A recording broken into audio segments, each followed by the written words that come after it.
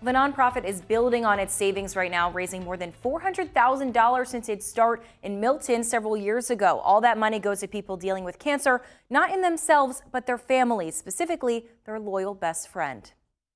You can feel her sweetness, right? This loving service pup is named Miracle. Every single day that I'm out of the house, Miracle touches somebody's life. That's been her job ever since Bernadette Earley took Miracle in as a puppy. Love dog. Oh, well, then you're going to love Miracle. Giving the little ball of fluff a second chance at a happy life. But they didn't know. But I felt this big swollen lump under her neck. She would need a third. Stage 5 B cell lymphoma you're just devastated. The diagnosis came with an expensive treatment plan for the 14 year old dog. I stood there just speechless when they told me the bill. Emma's Foundation for Canine Cancer filled the gaps, working a miracle of its own.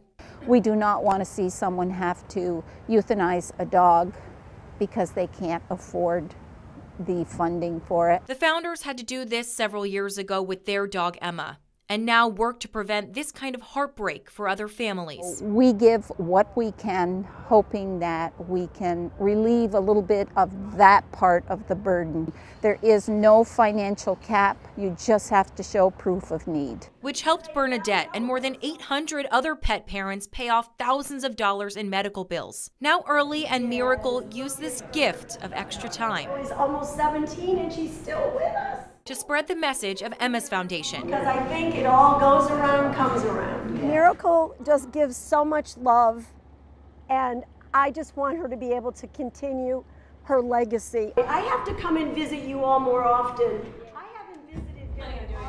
Uh, once every other week. Now, Emma's legacy does live on through that foundation, helping dogs all around New England and Florida with the goal of helping families nationwide. Now, if you need help with cancer treatments for your pup, you can contact the foundation using the number on your screen.